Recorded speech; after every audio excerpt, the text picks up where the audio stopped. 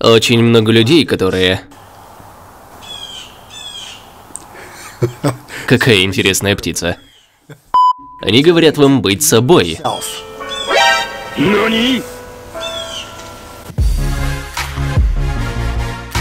В универе у меня был знакомый, о котором говорили, что он грубый, другие говорили, что он неотесанный, другие прямо говорили, что он тупой. Я сам считал его придурком. Помню, в один день мы пошли в местный бар, одна девушка села на его место, я помню, он посмотрел на нее, посмотрел на нас и, улыбаясь, сказал ей, «Ты тупая курица, убирайся с моего места». Самое смешное в этой истории, что он был пьяный, а у нее черный пояс, поэтому она надрала ему задницу. Будучи его другом, я просто смотрел, смеялся и следил за тем, чтобы его пиво не пролилось. А всякие гуру говорят, просто будь собой. И я рад, что Мэтт не получал такого совета. Ну или он им не воспользовался, потому что Мэтт прокачал себя. После университета он развил социальные навыки, он завел много друзей, женился, у него теперь есть семья, он стал успешным консультантом. И я могу сказать, что все произошло потому, что он не оставался просто собой. И это первая проблема, которая у меня возникает с людьми, которые говорят, что они те, кто есть. Очень часто это просто отговорка, чтобы они ничего не меняли в себе, не отказывались от плохих привычек. Давайте взглянем правде в глаза, что привычки очень сложно менять. И если вы глумный, или неприятный, или грубый, вы просто говорите первое, что пришло вам в голову, вы легко выходите из себя, все это проще свалить на эмоции, чем взглянуть на все со стороны и разобраться, из-за чего вы злитесь. Как можно это изменить? Многие скажут, Антонио, я не могу контролировать свои эмоции, у меня депрессия, я огорчен, у меня фрустрация, я озлоблен, я жертва своего прошлого, столько всего плохого произошло со мной, нет шансов что-то исправить. Вот что я скажу, Почитайте про индивидуальную психологию Адлера. Думаю, это снесет вам крышу. Он такой же крутой, как и Фрейд, просто к нему нет такого большого интереса. Но он рассказывает о нашей возможности измениться и что у нас есть для этого все ресурсы.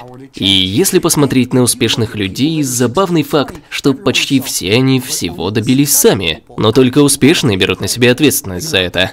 И если об этом подумать, то, оглянувшись, можно увидеть кучу примеров и возможностей, как можно вырасти. Поэтому быть собой – это слишком простой путь для многих людей, потому что не надо ничего менять. Можно просто оставаться на месте, где вам сказали быть, вместо того, чтобы сорваться и понять, что у вас есть большой потенциал и амбиции для того, чтобы начать что-то менять. Даже если говорить обо мне, я вырос в трейлерном парке, мои родители были разведены, они были курильщиками, мы плохо питались. Все это, можно сказать, было против меня. У меня мексиканское имя, я рос в той зоне, где это не особо приветствовалось. Меня удали в школу для слаборазвитых.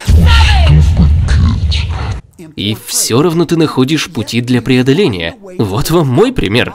И многие другие, с кем я общался, они преодолели препятствия, которые в принципе сделали нас теми, кто мы есть. Поэтому не бойтесь смотреть на свет. Не стоит быть тем, кто боится. Знаете, как дети, которые боятся темноты.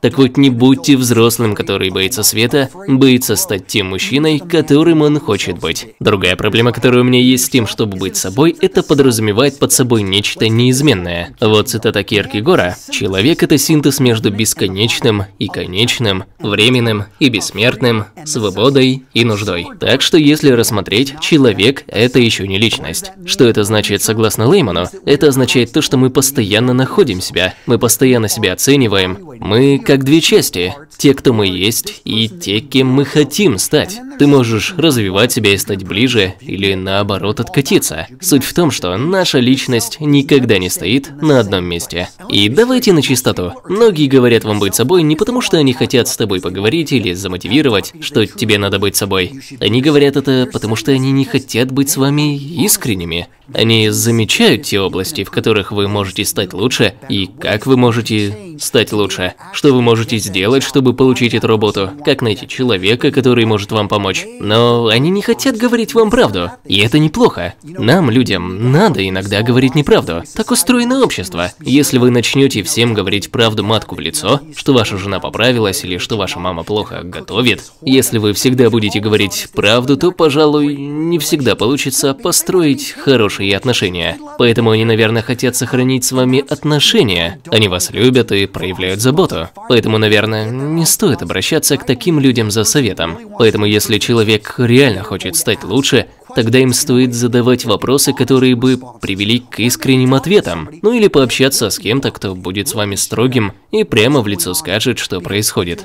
Потому что, если вы хотите понять, почему никто не приходит на свидание, или почему у вас нет долговременных отношений вместо кучи свиданий за последний год, вы получите открытые ответы, если вы будете готовы к ним. Главный вопрос, который надо задать себе, знаешь ли ты, кто ты есть? Да, я знаю, как меня зовут, я Антонио Сантена, но знаешь ли ты, чего ты хочешь добиться в жизни? К чему ты стремишься? Почему ты идешь в этом направлении? На какую стену ты забираешься? И что ты будешь делать, когда на нее попадешь? И это очень трудно, потому что никто за вас не может это сделать. Да, мы хотим сбросить с себя много дел, нанять помощника, или жена вам помогает, или партнер. Нет, это не так. Когда дело касается этого, то мужчина сам должен принять ответственность за себя, сесть и подумать. Но многие постоянно отвлекаются. Когда был последний раз, когда вы выделили себе 10 минут, чтобы посидеть и подумать без отвлечений на телефон, компьютер или книгу или на такие видео? Сделайте это.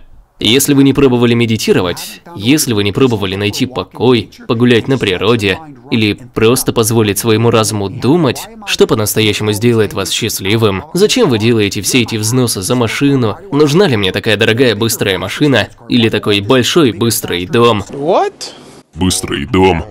Счастлив ли я рядом с этими людьми? Или должны ли они делать меня счастливым? Счастлив ли я от своей работы и от того, чем я занимаюсь по жизни? Но если вы не можете сказать кому-то, чтобы он просто был собой, то что же стоит говорить людям? Как насчет быть оригинальным, делая осознанный выбор того, кем ты хочешь быть?